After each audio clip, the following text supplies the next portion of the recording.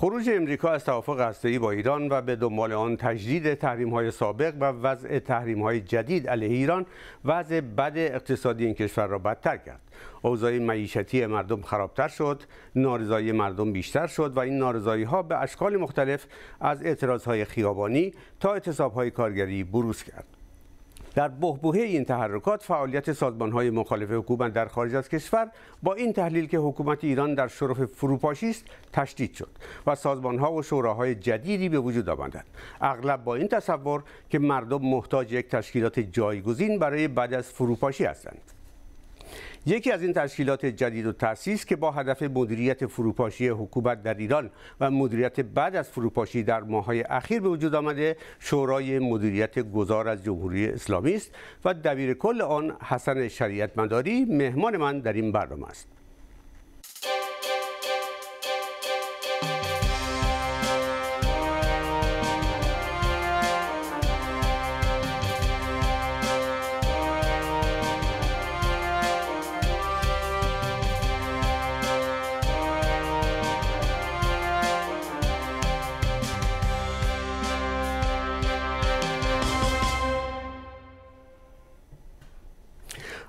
حسن شریعت مداری به برنامه به بار دیگر خوش آمدید منم سلام خدمت شما و فکرم از فرصتی که به من شما اخیرا در یک جلسه دو روزه در لندن موجودیت شورای مدیریت گذار از جمهوری اسلامی را اعلام کردید. این شورا دقیقا چیه آقای شریعت مداری سازمان آزادی بخش دولت در تبعید و یا شورای انقلاب بر اساس اهداف و وظایفی که شما تعیین کردید به نظر می‌رسه همه این هاست بله هم همه این هاست و هم هیچ کدام از اینها نیست. در حقیقت وظیفش مدیریت دوران گذار هست. در هنگامی که جمهوری اسلامی عملا در حال فروپاشی زیاد وقت مستمعین رو نمی‌گیرم. آن را که عیان است چه حاجت به بیان است؟ رقابت و جنگ داخلی بر سر قدرت فساد سیری ناپذیر سران نظام و از طرف دیگه تحریم های کمر شکن و دوری این حکومت از مردم و فاصله که بین جامعه و حکومت ایجاد شده همه دست به دست هم داده و این نظام را با سرعتی عجیب به سمت فروپاشی می‌بره. به طوری که امروز لفظ نظام یک مبالغه لفظی است و این اون که وجود داره یک نظمی سرکوبگره که فقط به قدرت نیزه خودش و سرکوب خودش بر سر پاس. و بنابراین برای اینکه چنین فروپاشی محتملی که احتمالش بسیار زیاده به جامعه سرایت نکنه و همچنین برای شتاب بخشیدن به این روند فروپاشی و گذار آرام به یک دموکراسی سکولار لازم بود که دی به این امر مهم قیام کنند و شورای مدیریت گذار بیش از یک سال است که بحثهایی رو بین عدهای شروع کرده با اونها به فرجام رسونده مدارک خودش رو تکمیل کرده و در آخر سر اعلام موجودیت کرده و آماده است که در این هیته یار و یاور هموطنان عزیز ما باشه بسیار خوب. شما به هر حال میگین که اهداف و وظایفی بر خودش تعیین کرده که اینها رو در سه سند منتشر کردید در وبسایتتون. اگه بخوام خیلی خلاصه شما بفرمایید که اهداف و وظایف عاجل شورای مدیریت گذار چیه؟ بله، ببینید پنج اصل است که باید به اون وفادار بود تا عضو شورای گذار شد. اولینش پایبندی به تمامیت ارزی ایران هست و یک پارچگی سرزمینی. برای اینکه بدون اینکه مملکتی باشه این تقله ها فایده ای نداره. دومین اصل این است که همه قائل باشیم که جمهوری اسلامی امکان هیچ نوع اصلاحی درش نیست در حال فروپاشی است و باید این فروپاشی مدیریت بشه. اصل سوم پایبندی جدایی دین نهاد دین از نهاد حکومت یا سکولاریسم است. ما به دموکراسی سکولار اعتقاد داریم پایبند به حقوق بشر و کنوانسیون های اون هستیم به عنوان اصل چهارم. و اصل پنجم مبارزه با هر گونه تبعیض در جامعه ایران. تبعیض نیکی تبعیض جنسیتی تبعیض بین جوان و مسن و همه تبعیض هایی که در جامعه وجود دارد. خب حالا شما این شورا رو بر مبنای اینکه همطور که الان فرمودید بر مبنای اینکه جمهوری اسلامی در شرف فروپاشیه به وجود آوردید ولی چرا فکر می‌کنید حکومت در حال فروپاشیه؟ شما یک مسائلی رو مطرح کردید در مورد وضعیت امروز حکومت که این سالهاست در جریانه. چرا فکر می‌کنید الان در حال فروپاشیه؟ بله ببینید یک نظام مستقل و با سیاسی پایه مستقل است و پایه های ثبات خودش رو بسته است که اکنون به آسانی میشه نشون داد وجود نداره. یکی از پایه های مهم مشروعیت و مقبولیت این نظام از مشروعیت به هیچ وجه برخوردار نیست و مقبولیتش بسیار اندک پایه اجتماعیش بسیار باریک شده. مسئله بعدی حکومت قانون و توان اجرای قانون است. یک چنین چیزی نه تنها در ایران وجود نداره بلکه هیچ کس در این حکومت حتی خودشون هم حاضر نیست تمکین بکنه و اون رو اجرا کنه. مسئله سوم توافق و اجماع برای تصمیم های مهم سیاسی، اقتصادی، اجتماعی در حیطه داخلی و خارجی. این کار هم در از این نظام بر همچنین جامعه ایران به طور کلی روش زندگی خودش رو و روش فرهنگی و اجتماعی خودش رو از این نظام جدا کرده و این نظام رو به هیچ وجه از آن خودش نمیده بنابراین تنها مانده است که سرنیزه که با اون متکیان و نیروهای سرکوب در وضعی که این تحریم های کمرشکن امکان بسیج این نیروها رو نمیده و بیشتر حکومت تبدیل شده به مافیاهای مالی که می‌خواهند سر کیسه همدیگر رو خالی بکنن توان سرکوب هم به تدریج سرد میشه و نیروهای سرکوب هم تکه تکه میشن. و اون لحظه سقوط این نظام خواهد بود. بنابراین حدس ما چندان دور از واقعیت نیست و چنین وضعی هیچ موقع در از چند سال قبل نبوده و اگر از ما می‌پرسید کی خواهد شد ما جواب نداریم از هر کسی چند روز قبل از سقوط شوروی سابق یا جمهوری های وابسته به شوروی میپرسیدید نمی‌توانست بگه که این سقوط کی خواهد بود ولی همه اینا شده آقای جدید مداری شما در واقع میگید که این شورا تشکیل شده اینکه در فردای فروپاشی مردم مطمئن باشند که تشکیلاتی هست که کشور را تا زمانی که مجلس مؤسسان تشکیل بشه اونطور که بر اساس اسنادتون دارم میگم و حکومت موقت تشکیل بشه و شما اون وقت اون رو منتقل بکنید به حکومت موقت.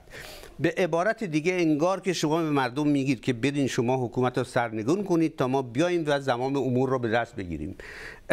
شما چه اختیار یا درخواستی از طرف مردم برای تشکیل این شورا داشتید؟ اولا قیام به وظیفه احتیاج به رخصت نداره. سوال ما از کسانی است که به وظیفه ملی که در هنگام سقوط یک نظام بر اونها در حقیقت به عنوان یک تکلیف ملی نهاده میشه عمل نمی کنند و سکوت می کنند یا حواله به تقدیر می کنند و همکاری نمی کنند ملت اگر با چنین چیزی موافق نباشه باید پرسید با چه چیزی موافقه. فکر نمی کنم کسی موافق این نباشه که ادهی به این وظیفه ملی قیام کنند هیچ توقعی نداشته باشند کیسه ای ندوخته باشند حکومت هم نخوان بکنن چون بعدا می‌خوان واگذار ثانیا اینکه ما می‌خوایم بعدا این کار رو بکنیم به هیچ وجه اینطور نیست. ما دو قسمت این مدیریت گذار داره. یک قسمت مدیریت فروپاشی است و یک قسمت مدیریت پس از فروپاشی تا مجلس دولت موقت است. و پس از دولت موقت ما کار رو تحویل دولت موقت میدیم.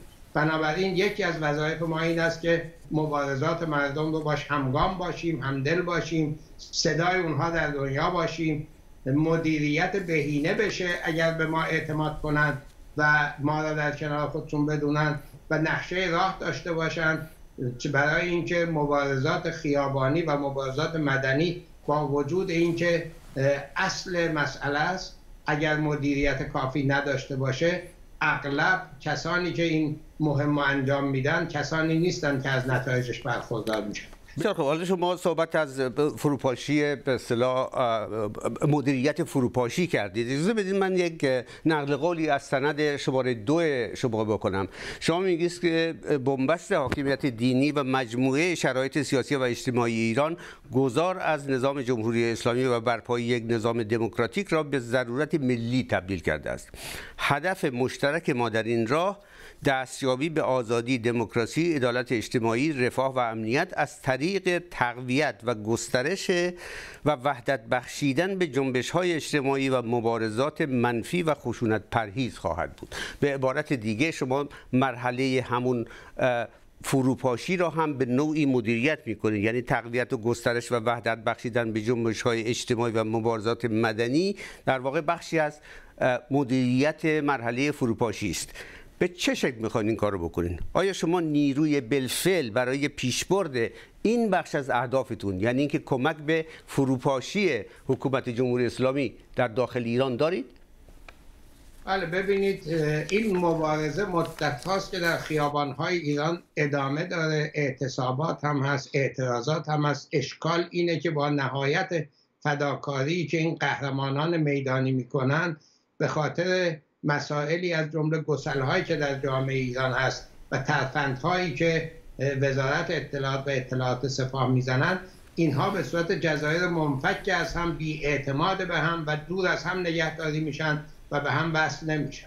کاری که ما می‌کنیم و براش نیرو داریم سرمایه می‌گذاریم ای را در داخل داریم ای رو اینجا و می‌خواهیم صدای اونها باشیم اعتماد اونها رو جذب کنیم این است که این جزایر منفک از هم را وقتی به هم وصل بکنی نیروی عظیمی میشه که این نظام در مقابلش توان مقاومت نداره. وقتی وصل بشن بخشهایی از نظام هم از نظام کنده میشن و به اینها میپیوندن و می‌شود مانند اون که در لبنان شد یا در عراق شد یا در جاهای دیگه شده و به این سوال بزرگ پاسخ داده میشه که چرا مردم ایران به هم نمیپیوندن و چرا به هم اعتماد ندارن. ما می‌خوایم این اعتماد رو بسازیم. البته به نظر من اعتماد دارند ولی وسایل در حقیقت نزدیک شدن به هم ازشون دریق شده. فضای گفتگو وجود نداره. نمی‌توانند همدیگر رو بشناسند. و این کارهایی که ما به کمک کسانی که داریم و دوستانی که در ایران هستند و افرادی که از اینجا تماس می‌گیرن چون امروز واقعا دیگه داخل و خارج معنای خاصی نداره. همون بیشتر اون کارها رو از همینجا هم دوستان ما انجام میدن و سعی می‌کنیم این وظایف رو انجام شما عمر دوران مدیریت شورا را چه مدت می‌دونید؟ فکر می‌کنید چقدر طول می‌کشه؟ ما زمان نمی‌تونیم تعیین کنیم ما از تا مبارزات مردم ادامه داشته باشه و سقوط این نظام رقم بخوره هستیم پس از آن هم مدت کوتاهی هستیم تا کنگره ملی ایرانیان رو تشکیل بدیم. همه احساب و گروه ها رو کمک کنیم که یک جا جمع بشن و معتمدین مردم دولت موقت رو تشکیل بدن. ما هیچ ادعایی نداریم. بقیه رو هم دعوت به همکاری می‌کنیم و خودمون رو هم تنها آلترناتیو نمی‌دونیم. جایگزین های دیگری هم اگر پیدا بشن باشون نهایت همکاری رو خواهیم حالا شما در سه سندی که منتشر کردید به همه حوزه های نظری و عملی حکومتداری پرداختید. و بر اساس اون شورا بیشتر به دولت شبیه تا یک تشکیلات برای مدیریت کوتاه مدت نخیر اینا پیشنهاداتی است که ما به مجلس محسن و دولت موقت خواهیم داد. ما اسم این سند رو گذاشتیم ارزش ها و رویکردها. رویکردهای ما همین پیشنهادات و ارزش ها اون پنج اصلیش که گفتم و اصولی که نوشته شده. بنابراین اینها به معنی نیست که ما بر طبق این حکومت خواهیم کرد.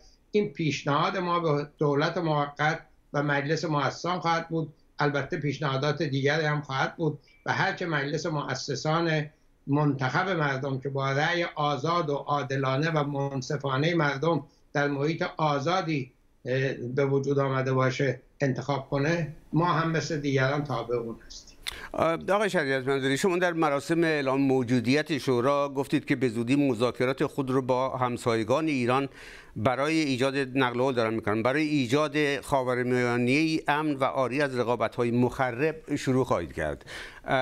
من حس می‌زنم که هنوز این مذاکراتی شروع نکردید با کشورهای همسایه.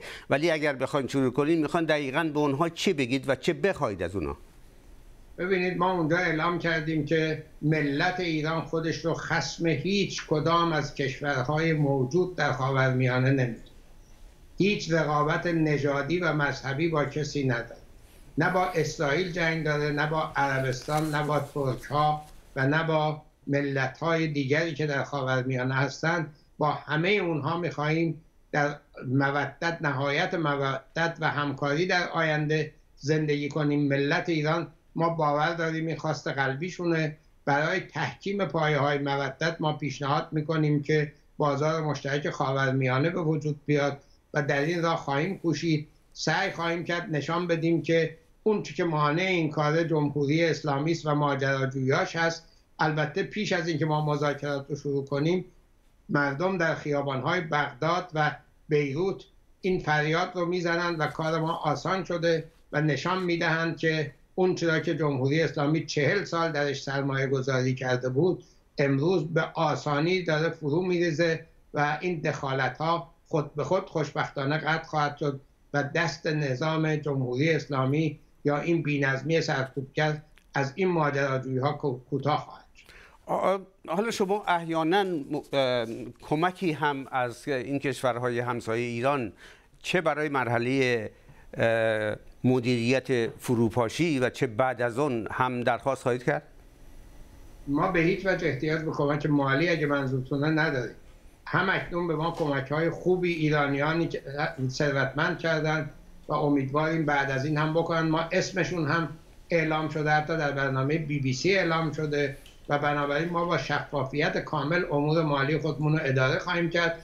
اما کمک های دیگر از جمله کمک های دیپلماتیک وصل کردن ما به NGO ها به محافل آزادی خواه و محافلی که می توانند کمک به گذار مسالمت آمیز کنند. ما هم از قد توقع داریم هم از پارلمان ها هم از think tank ها و هم از سیاستمداران آزاده ای که در این جهت خودشون رو با ما همسون آیا در خصوص تشکیل شورا و اصولا در مورد شورا با دولت امریکا هم تماس دارید؟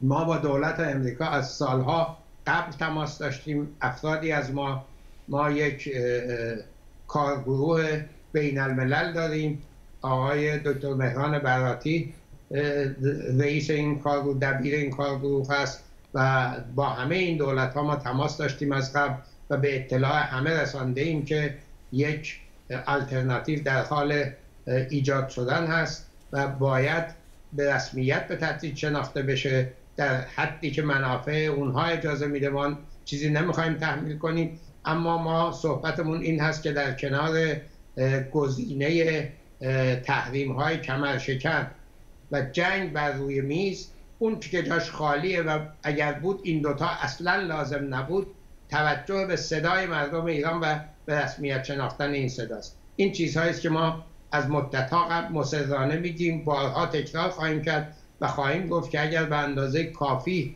توجه به مردم ایران داشته باشید مردم ایران خودشون از عهده این نظام میان و احتیاجی به شماها نیست.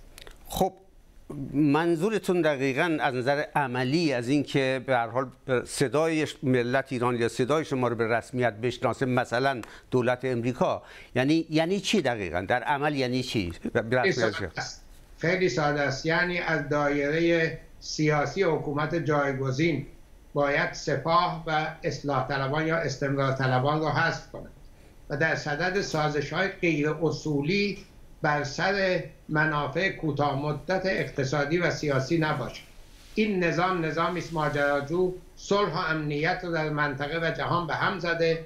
یک تافته جدا بافته از جهان متمدن کنونی است و در حقیقت معارض تمدن بشری است و باید بره و باید به دست ایرانی بره. این چیزی است که ما به اونها شما به تحریم های کمرشکن اشاره کردید. آیا شما معتقدید این تحریم ها باید لغو بشه یا اینکه می‌تونه کمکی به پروسه فروپاشی حکومت باشه و باقی بمونه؟ جناب فانی بزرگترین مدافع این تحریم ها سپاه و آیت الله خامنه بارها و بارها موقعیت های پیش اومده که این تحریم ها کم بشه یا لغو بشه یا مذاکرات صورت بگیره و ایشون با لجبازی و سرسختی ایستاده و سپاه درست در هنگامی که مذاکرات می‌توانست به جایی برسه بازی در آورده که نشه. شما از کسانی که هیچ قدرتی برای لغو این تحریم ها ندارن چیزی رو می‌پرسید که قاعدتا طرف خطابتون باید کسانی بشه که با یک اشارهشون این تحریم ها می‌تونه جابجا بشه و یا لغو بشه. من فکر می‌کنم آقای خامنه ای فقط به برکت وضعیت غیر عادی که امروز هست بر سر کاره و به مجردی که وضعیت عادی بشه آقای خامنه ای و سپاه هم باید برن.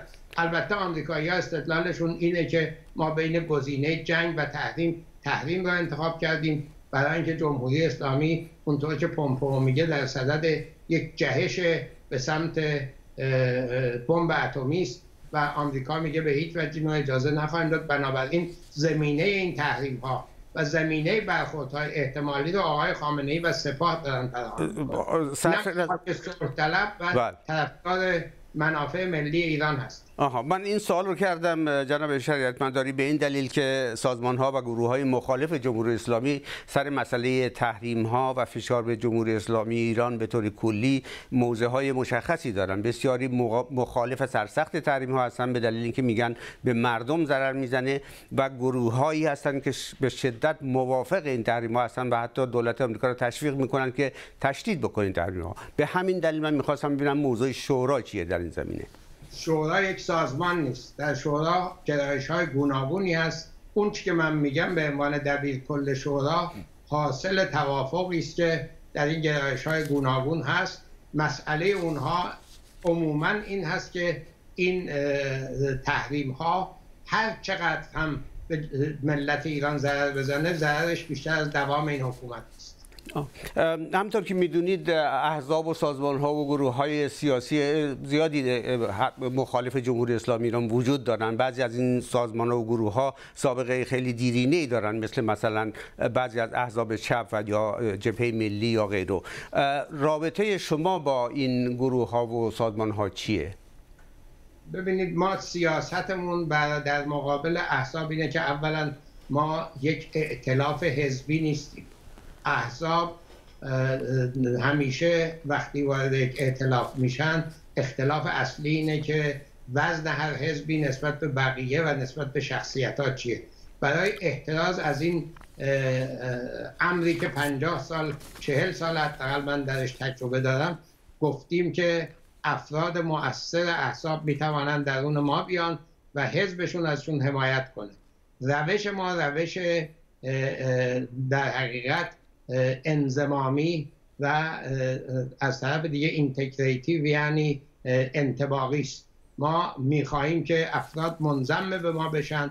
ما به هیچ وجه نمیگیم که ما هستیم شما به ما بپیوندید. ما میگیم مجموعه است که شما هم می‌توانید در اون شریک بشید و یکی از دیگران بشید و قیام به وظیفه خودتون بکنید. هیچ کس بر کس دیگری جز به رأیی که آزادانه داده خواهد شد منصبی رو اشغال نخواهد کرد همه مناسب موقتی است. آقای شریعت مداری طی چهل سال گذشته که حکومت جمهوری اسلامی ایران حاکم هست شاهد ده ها گروه ها سازمان های مخالف بودیم که با شیوه های مختلف از جنگ مسلحانه گرفته تا اصلاحات سعی کردن که نظام جمهوری اسلامی رو تغییر بدن و گروه ها و سازمان های آلترنتیو بسازن. ولی همه اینها شکست خوردن.